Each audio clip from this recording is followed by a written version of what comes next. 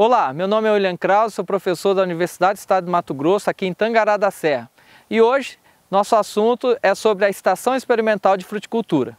A Estação Experimental de Fruticultura, ela teve início já no ano de 2008 e desde então nós vemos fazendo pesquisas e mais do que isso, nós também implantamos aqui na unidade demonstrativa várias espécies frutíferas.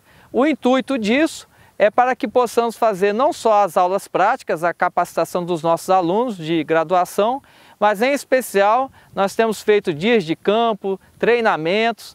Isso tem sido uma grande oportunidade na prática de trazer produtores rurais aqui para dentro da universidade. E nos nossos dias de campo a gente fala desde a parte de plantio, adubação, podas, controle fitossanitário, colheita, e normalmente nós passamos aqui uma manhã inteira falando sobre a cultura. Isso tem sido interessante porque permite que o produtor veja na prática aquilo que está acontecendo com a cultura.